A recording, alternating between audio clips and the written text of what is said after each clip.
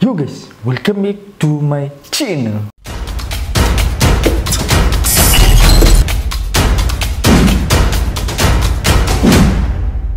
Oke teman, jadi kita kembali lagi ke channel ini. Ya seperti biasa channel ini selalu ngebahas hal-hal yang lagi rame dibicarakan. Ketika kalian ada hal yang lagi rame dibicarakan, silahkan tap uh, akun TikTok linknya udah di bawah. Karena di sini gue bakal coba cari informasi seperti ini. Jadi di sini ada Andros yang dulu mantannya Razor, yang dari pertanyaan gue itu ke mana ke mana dia sekarang hilang dengan tanpa jejak. Ada ya orang bisa menghilang tanpa main Instagram, tanpa main uh, HP itu kan agak impossible banget. Dia ke pesantren emang pesantren nggak boleh sesekali lo nggak main HP gitu lebaran atau ya gimana kan dia nggak nggak ada update updatean dan terus Razor juga tiba-tiba uh, putus gitu aja tanpa kabar dan dia sekarang lagi ke Ike. Ike Jan tahu kan? Ya ya yang dulu pacarnya sudah ganti lagi dan almarhum lah ya Ike Jane. Terus dia sekarang lagi sama Razor. Uh, nanti linknya gue kasih bawah. Dulu itu pernah gue bahas juga si Anos ya Anos Malinda. Karena lucu aja gitu guys. Itu dia punya jumlah pengikut yang nggak cuma sedikit tiba-tiba hilang seperti ditelan. Boom katanya sih kabarnya ke pesantren. Dan tiba-tiba tiba-tiba ada netizen yang ngebuka lapas di Semarang LPP nah gue coba cari tahu kebenarannya. Bener nggak sih? Ya ternyata bener ya. Kebenarannya bener. Dia ternyata di lapas bukan di pesantren. Kalau ini dia nggak main HP selama di lapas gue agak percaya. Karena kalau di pesantren lo nggak main HP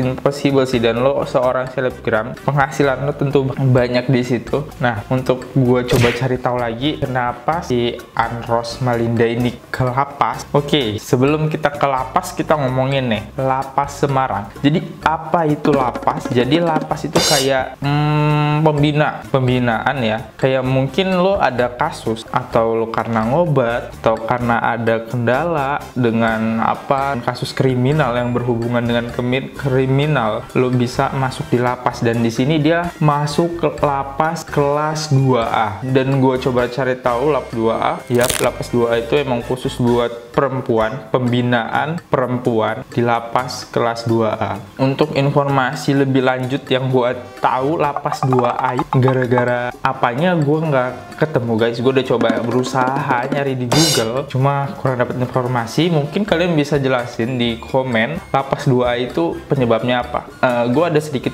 kecurigaan. Karena dia selebgram uh, dia mungkin ketahuan main obat-obatan. Kalau kriminal kayaknya beritanya bakal viral bang. Kalau misalnya uh, pembunuhan atau hanya pencemaran nama baik uh, masuk lapas itu bakal viral juga sih. Kalau penyemaran nama baik karena kasusnya ada yang dirugikan. Di sini nggak ada yang dirugikan ya. Yang gue pikirin di situ. Di sini nggak ada yang dirugikan tiba-tiba kok dia bisa masuk lapas. Dan pertanyaan gue apakah dia hanya membina pembinaan? Ternyata tidak guys. Karena di sini nanti kalian bakal melihat si Andros ini memakai baju lapas ya kalau pembinaan seharusnya nggak harus pakai baju lapas lah ya. Nah, ini asik nih. Jadi di sini gue punya dua akun TikTok. Uh, gue lebih kayak ngebacain komen-komen kalian karena komen-komen ini nanti di TikTok bakal kita reaksi lebih kita pertanyakan juga ya jawaban-jawaban jawabannya. Oke, okay, sebelum itu silahkan klik tombol subscribe. Kita karena bakal let's go ke lapas. Gue bakal mencari tahu semua tanpa tuntas ini informasi yang gue dapat ya guys. Kalau ada yang informasi lebih dapat lebih lagi silahkan di komen diperjelas biar teman-teman teman kita pada tahu. Nah, channel ini ngebahas-bahas kayak gitu sebenarnya. Hal-hal yang lagi viral rame dibicarakan. Karena seru sih. Oke langsung aja kita mulai. Satu dua. Oke. Gue pengen ngecek dulu sebelumnya teman-teman. Kita ke akun TikTok dari Anros. Karena ada kok dia tiba-tiba menghilang kayak gitu aja. Dan di sini terakhir upload apa gini sih. Jogetnya mana cakep tapi dia cantik banget ya. Gila ya. Ros ini wow. Dan di sini dia tanggal 29 bulan 9 2021 hilang tanpa kabar ya. Andros ya. Dan di sini dia masih ada video-videonya dengan Rajor. Tapi emang cakep sih Andros ini gila ya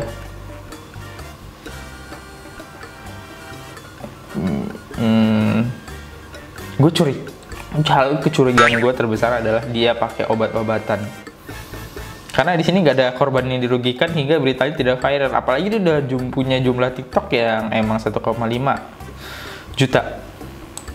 Oke. Okay. Oke. Okay. Di sini gue sebenarnya punya dua akun TikTok yang ngebahas Unros. Uh, Oke, okay. yang pertama gue bakal ngebahas yang dua video dulu dan gue nggak tahu kenapa di sini akunnya pada baru-baru Wah nggak tahu kenapa ini akun baru-baru agak mencurigakan sih sebenarnya di sini akun baru-baru. Oke, ini udah ditonton satu juta. Ya, tonton lah ya. Nah, di sini LPP Semarang dia mengupload foto ini. Nanti kita coba cari tahu di akun Instagram LPP Semarang apakah benar ada. Oke.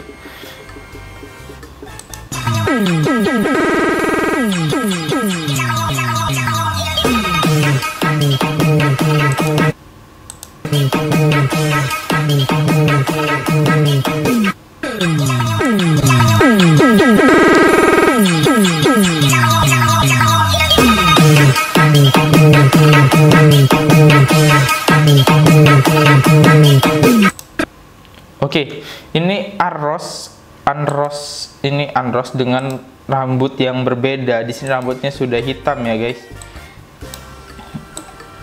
Ini fix Iya, ini fix dia. Dan dia di sini memegang tulisan. Tulisannya di video ini nggak kebaca. Nanti di video sebelumnya itu bakal jelas kebacanya. Oke gue langsung langsung ke slogannya. Ini ini udah udah fix sih dia ini. Ini ciri khas wajah dia tuh imut sih jujur. Daripada ikejannya gue lebih milih ini sih cakep boy pesantren tipe apa kak? Mas pesantren tipe apa?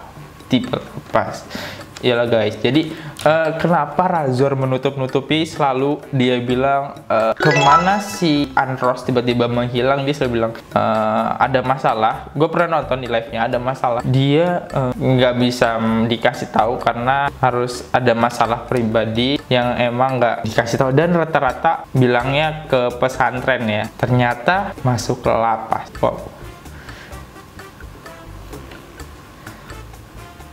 udah dihapus dari pihak LPP Semarang guys. Oh.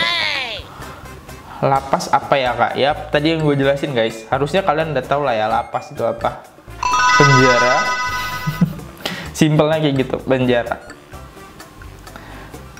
Hai kaget banget. Masa sih beneran? Masa sih itu beneran? Itu beneran guys.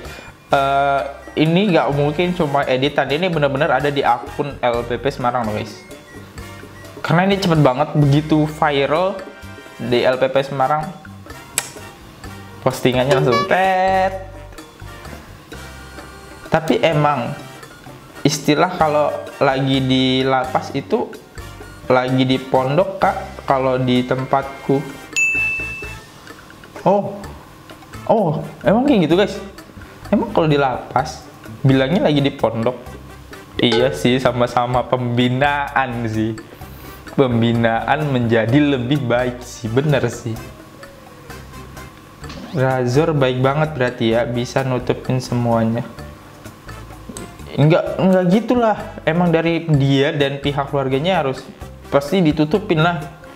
Ya masa Razor yang ngebongkar bakal dicari sama keluarganya sih? Enggak enggak dibilang baik enggak juga. Dan di sini pas banget di foto ini.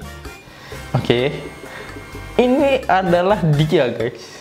Dan kalau kita lihat apa coba yang bikin aneh? Di sini kelompoknya udah maksudnya udah berumur semua lah ya. Udah ibu-ibu cuma dia sendiri bawa yang cakep. Gila sih. Di make itu masih ada gitu sekarang ya. Idamanmu kie lo kok lo kok lagi rebahan bukan mondok Gila,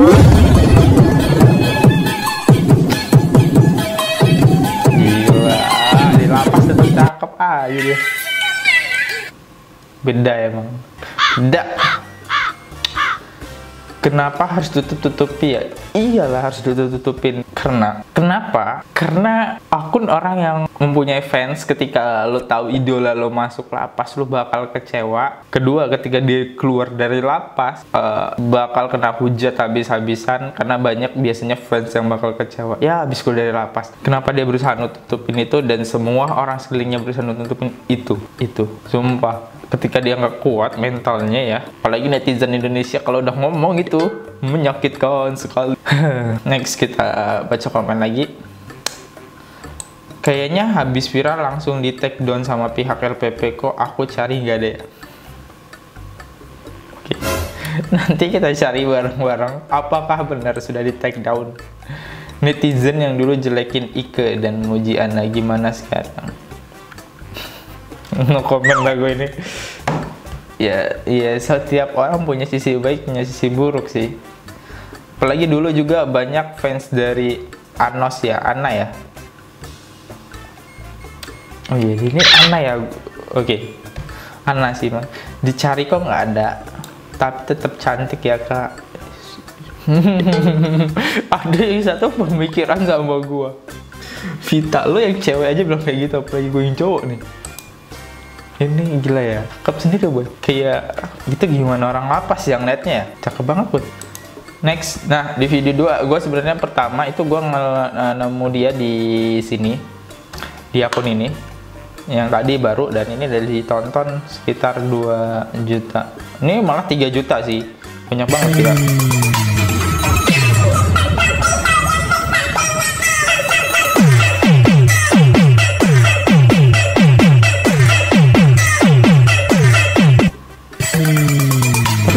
tapi tapi tapi cakep banget gila yang aslinya ketimbang dia make tiktok ini efek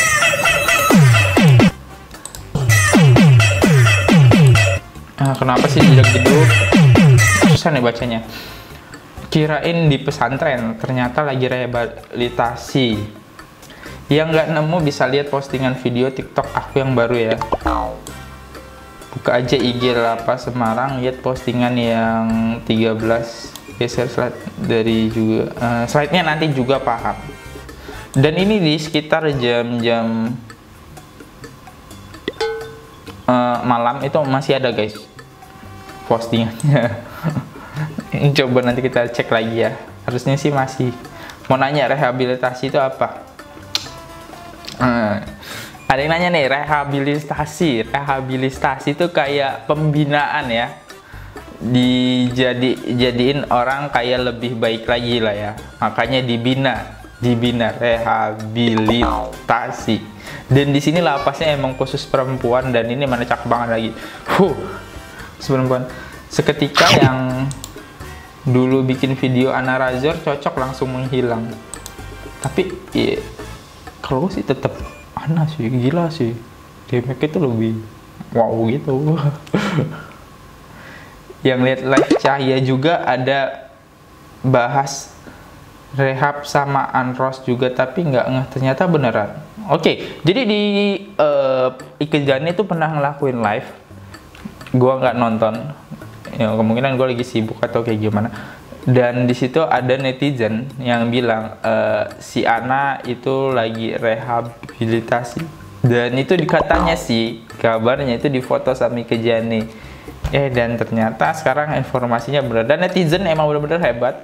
Bisa nemuin si Ana itu ada di Semarang. Itu udah diupload di Instagram kalau nggak salah 2021 ini masih sama ya masih sama ini agak beda. Oh ini cobalah sejuta nih sejuta. Apakah sama.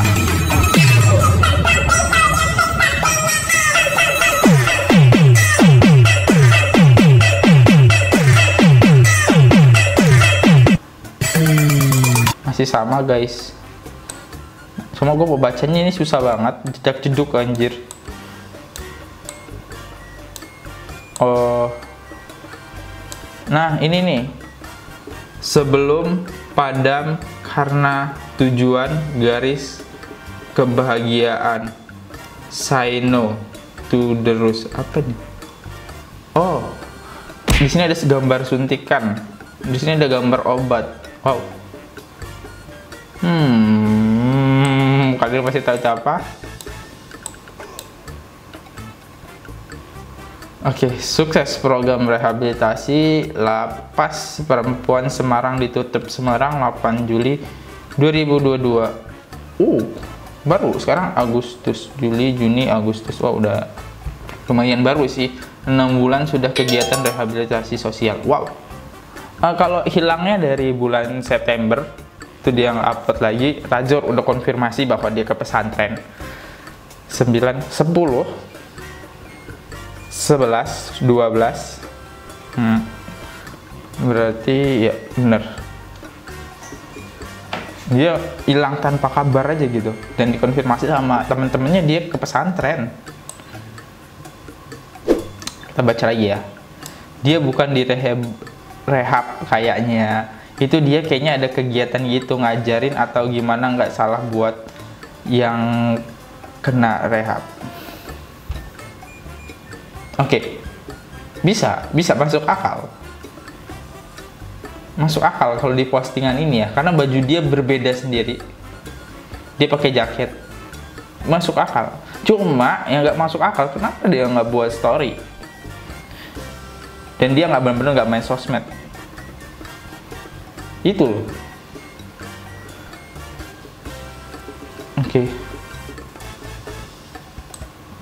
Itu waktu itu Ike lagi live. Terus ada netizen yang bilang Ana lagi di penjara.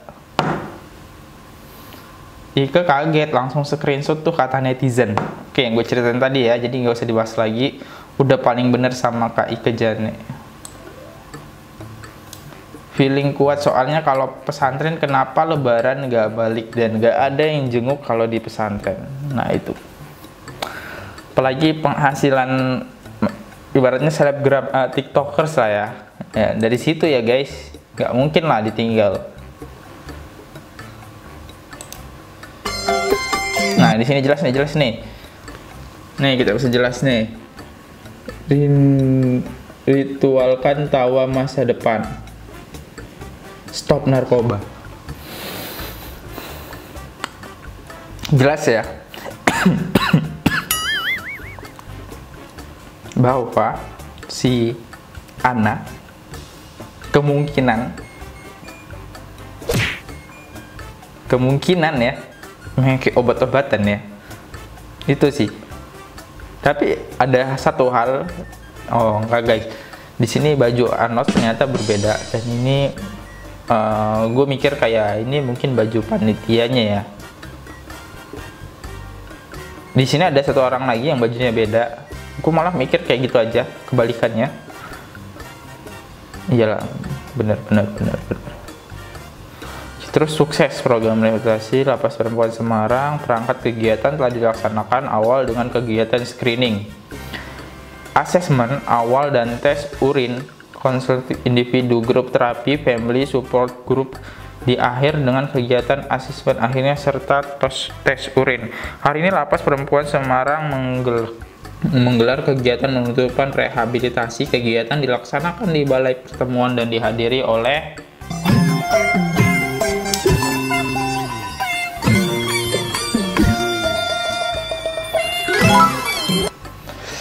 Oke, okay, mungkin disuruh Rajor rehabilitasi soalnya biar berubah itu terus balik lagi karena keluarga Rajor kan keluarga baik-baik mungkin ya tapi begitu.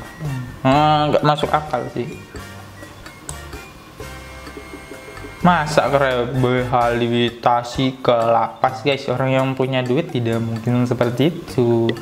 Ke psikolog saja. Pantas dari tadi nyari nggak ketemu ketemu kasihan.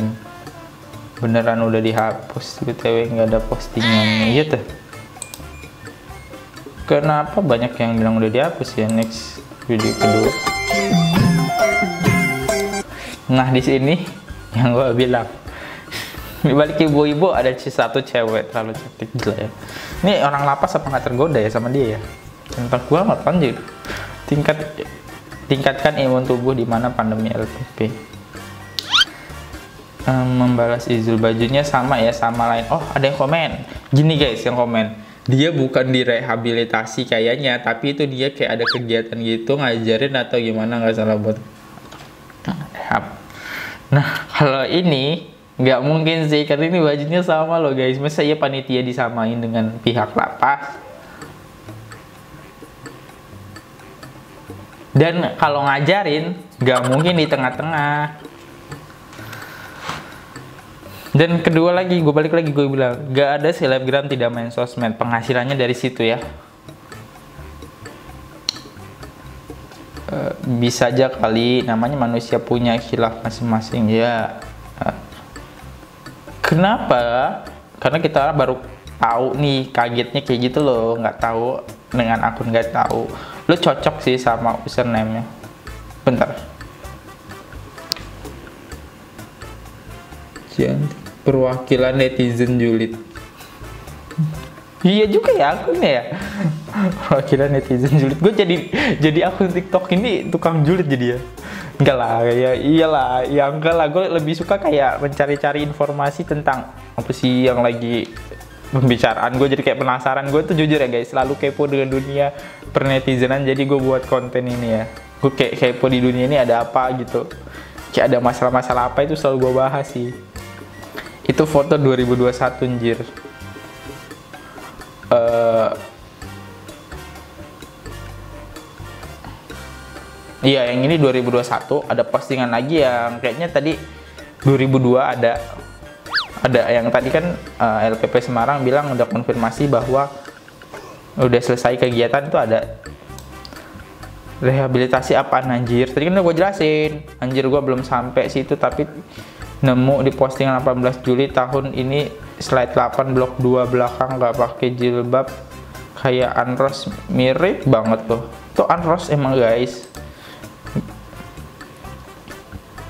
ini maksudnya ini ini postingan terbarunya dan ini postingan lamanya ya postingan terbaru ini postingan lama dan ternyata ternyata ternyata gue sudah menemukan akun LPP Semarang Instagram Nah, LPP Semarang, lapas perempuan kelas 2A SMG, yaitu Semarang. SMG itu guys, gue udah coba cari tahu apa ini, apa ini. LPP Semarang, oke. Okay. FB ini dua bla bla. Dan, oke, okay, kalau kita mau lihat uh, apakah postingannya masih ada. Ini guys, jadi ini ada ibu-ibu, kita ngeliat ya, patokannya kayak gini, apakah ini bener apa enggak. Kita lihat-lihat ini uh, rambutnya agak keriting, ada ibu-ibu foto bertiga. Gue coba cari itu saat eh uh, next next terus terus terus terus terus 2021 itu cukup lama jadi wajar kita harus scroll sampai bawah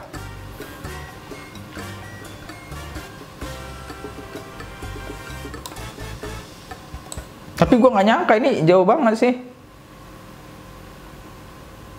terus terus terus terus cari cari cari cari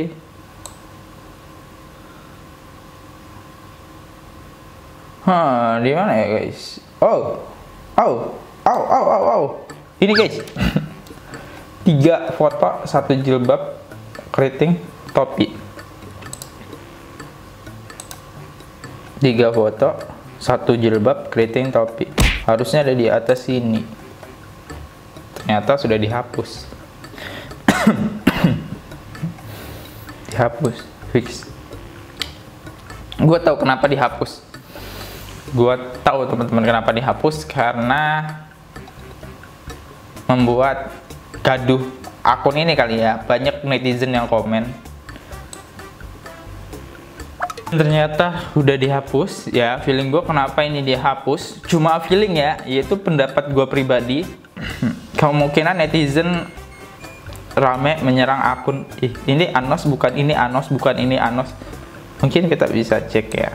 Gue penasaran di postingan-postingan pertama. Oh. Komennya pada nol semua hmm. Ya satu komen.